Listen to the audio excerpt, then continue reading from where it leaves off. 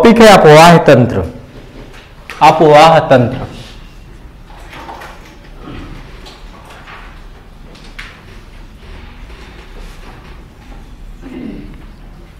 आज देश की नदियों के बारे में पढ़ेंगे। ठीक है? अब अपवाह तंत्र के बारे में थोड़ा सा डिटेल में, थोड़ा सा सैद्धांतिक पक्षों को भी देखेंगे। ठीक है? अवधारणाएँ क्या क्या हैं इसमें, उनको भी देखेंगे और इसके साथ साथ हम लोग चर्चा करेंगे। देश की सभी नदियों के बारे में कि किस तरीके से हमारे यहाँ पे जो सिंधु नदी तंत्र है, गंगा नदी तंत्र है, ब्रह्मपुत्र नदी तंत्र है, इसके बाद प्रायद्वीपीय भारत की नदियाँ हैं।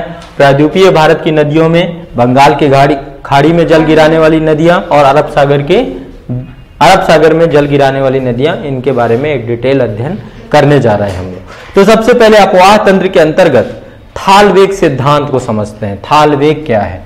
ठीक है, यहाँ पर चार चित्र मैं बनाऊँगा, इनको क्रम से आप बनाते चले जाए। सबसे नंबर एक, किसी नदी का थाल वेग क्या होता है? मान लीजिए ये आपका पर्वत शिखर है, ठीक है? इस पर्वत शिखर से नदी यहाँ से उद्गमित होती है, यहाँ एक ग्लेशियर है, वो ग्लेशियर इस नदी के जल का सोर्स है, और यहाँ से एक नदी उद्गमित होती है, और मैदानी क्षेत्र में प्रवेश करके समुद्र में जाकर के जल गिराती है। ठीक है? तो जब नदी इस क्षेत्र से निकलती है तो यहाँ एक घाटी का निर्माण करती है।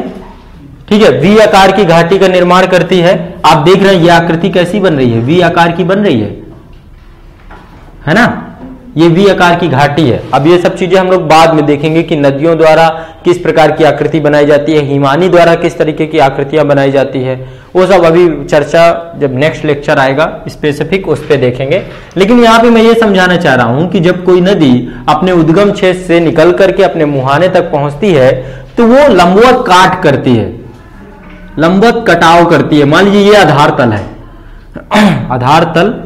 आधार तल वही है जो समुद्र का आधार तल होता है, जहाँ पे समुद्र का जल की सतह होती है, वही आधार तल मान सकते हैं। नदी अपने आप को, यदि मैदानी क्षेत्र में बह रही है तो अपनी घाटी को तब तक काटती है, जब तक वो अपने आधार तल से ना मिल जाए। ठीक है? आधार तल के पहुँचने तक नदी घाटी को काटती हुई जाती है। ठीक है? अब आधार तल आपका, मान लीजिए, ये रहा। नदी इस तरीके से इसको काटती जाएगी धीरे धीरे जैसे जैसे अपने मुहाने में पहुंचेगी काटते काटते अपने जल में मिल जाएगी, समुद्री जल में मिल जाएगी। ठीक है? इसको बोलते हैं थाल वेग थाल वेग नंबर एक, नंबर बी। दूसरा डायग्राम बनाते हैं। दूसरा डायग्राम बस इसी को है कि नदी, ये लंबवत अपर्दन गति, मान लीजिए नदी यहाँ से बह रही है, और यहाँ से ये आधार तल है तो नदी क्या करेगी? लंबवत अपर्दन करेगी। नदी का अपर्दन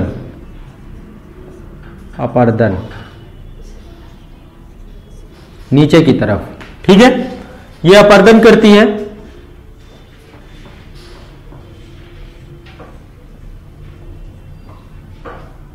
बहाव की दिशा यह है आपकी नदी का और नदी का थाल वेग है। नदी का थाल वेग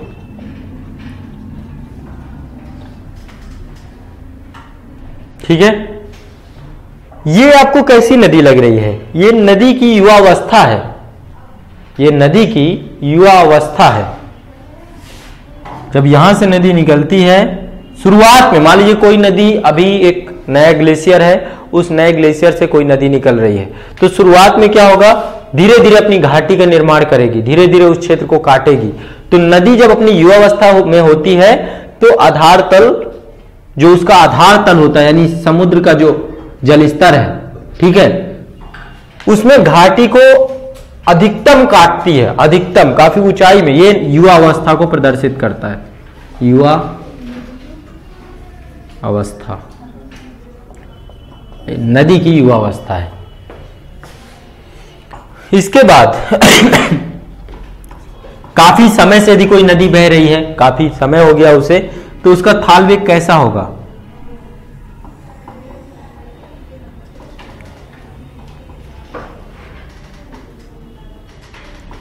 ये नदी की वृद्धावस्था है। जब नदी वृद्ध हो जाती है वृद्धावस्था में उसका थाल वेग समतल समतल प्राय ही हो जाता है लगभग समतल प्राय। ठीक है? ये नदी का थाल वेग है।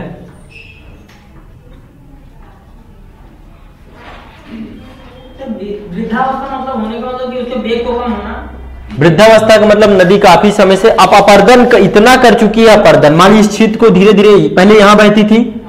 अपर्दन करते करते अब यहाँ आ गई है। अपर्दन करते करते अभी क्या करेगी? अगली अवस्था में बिल्कुल समतल हो जाएगी। अपर्दन, उसने अपनी घाटी का आधार तल के बराबर अपर्दन कर लिया है। ये दिखाता है नदी की अवस्था को। एक समय ऐसा आएगा कि नदी बिल्कुल अपने संप्राय मैदान की तरह बहने लगे। नदी का यहाँ पे थाल वेग का अंत हो जाता है।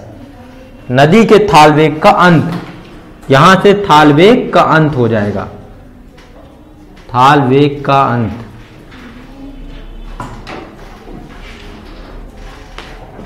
ठीक है? तो ये एक संप्राय मैदान की तरह सीधी रेखा दिख रहा है। सीधी रेखा। रेखा या संप्राय मैदान। ठीक है? ये एक तरीके से मानिए कि नदी का सबसे अंतिम चरण होता है। जब अपनी पूरे घाटी क्षेत्र को का, काट डालती कटाव कर देती है। ठीक है? ये बात समझ में आ रही है? पूरी? यहाँ से कोई नदी निकली अपने घाटी को काटते काटते काटते काटते एक अवस्था ये पहुँच गई। ठीक है? इस अवस्था में घाटी से जब नदी निकली थी तो घाटी को काटने की असीम संभावनाएँ हैं। काटते काटते इस स्तर पे आई, फिर इस स्तर पे आई, फिर इस स्तर पे आई और संप्राय मैदान में तब्दील हो गई। ठीक है तो थालबेग के बारे में लिखिए। थालबेग क्या है? किसी नदी के उद्गम से मुहाने तक, किसी नदी के उद्गम से मुहाने तक, घाटी के लंबवत काट को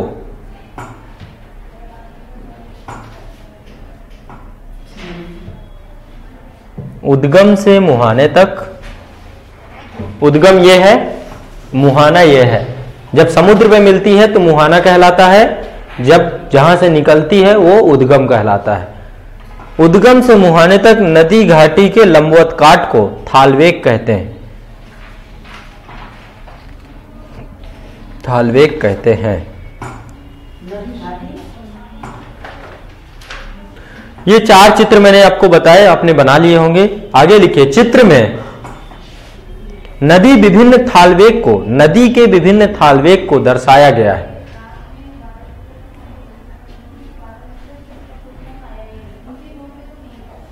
जब नदी अपने अपर्दन के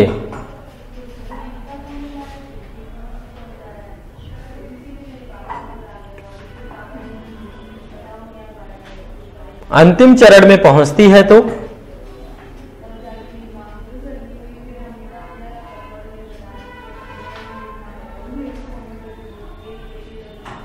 तो थाल वेग एक सीधी रेखा द्वारा प्रदर्शित होता है। थाल वेग एक सीधी रेखा द्वारा प्रदर्शित होता है।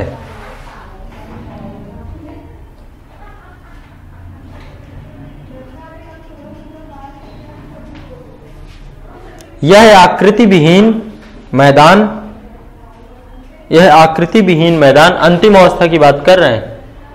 यह आकृति विहीन मैदान संप्राय मैदान कहलाता है। संप्राय मैदान कहलाता है।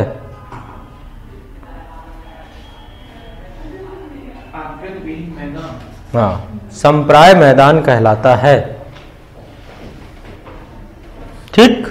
कोई डाउट हो पूछिए। आगे लिखिए इसी में सर हम्म सर आकृत विहीन मैदान क्यों बोलेंगे सर से आकृत विहीन यहाँ पर क्या आकृति है? ठीक है एक तरीके से एक मैदानी क्षेत्र ही तो है। नदी ने अपने आप को पूरे आधार तल के बराबर कर लिया। ठीक है तो ये मैदानी क्षेत्र को संप्राय मैदान कहते हैं। सर क्या नदी तो सर यहाँ पे नदी तो है तो आकृत विहीन नदी तो कह सकते हैं। आकृति विहीन मेरे कहने का तात्पर्य बस इतना सा है कि ये पूरे मैदान के जैसा मैदान है वैसा ही दिख रही है। एक नदी होती है उसका एक बहाव होता है। ऊपर से आ रही है नीचे संभावनाएँ हैं कि धीरे धीरे इस घाटी को काटती चली जाएगी। ठीक है? नदी ही मैदान की तरह दिखने लग जाए। तो क्या हुआ? जो नदी की एक आकृति है नदी का जो थालवेग है वो समाप्त हो गया। इसलिए इसे आकृति विहीन कहा जा रहा है। ठीक है? जो वास्तविक ये चित्रण होना चाहिए यहाँ पे क्या है क्या? नहीं है ना? हाँ। सर क्या नदी भी नष्ट हो सकती है? हाँ बिल्कुल। किस कारण से? जल की उपस्थिति का अभाव। जहाँ से मतलब नदी निकलती है अगर वहाँ से पानी ग्लेशियर ही ना हो। धीरे धीरे बहुत सारी नदी जैसे कि सरस्वती नदी कभी बहती थी लेकिन आज नहीं है। ठीक है? ऐसे ही और नदियाँ हैं। घग्घर नदी एक है। ठीक है? अब धीरे धीरे वो भी लुप्त प्राय हो रही है। हरियाणा में बहती है। सिंधु घाटी सभ्यता के टाइम पीरियड पे इनका नाम था। ठीक है, नदी भी लुप्त प्राय हो सकती है, क्यों नहीं हो सकती? और इतने से कोई दिक्कत हो तो बताइए। आगे लिखिए, थालवेग के इस विश्लेषण से, थालवेग के इस विश्लेषण से हम पाते हैं,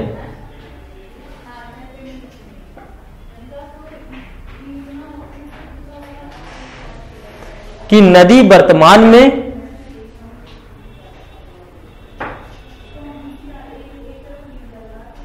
अपने निम्न अवस्थाओं से गुजरती है। निम्न अवस्थाओं से गुजरती है। युवावस्था, मध्यावस्था, प्रौढ़ावस्था इत्यादि। युवावस्था, मध्यावस्था, प्रौढ़ावस्था इत्यादि। ठीक है? तो ये बात हुई एक थोड़ा समझाना चाह रहा था थालवेग का सिद्धांत। ठीक है? मैं मानता हूँ कि आपको समझ में आ गया होगा। अब नेक्स्ट टॉपिक को हम यहाँ से कंटिन्यू करते हैं। नेक्स्ट टॉपिक है आपका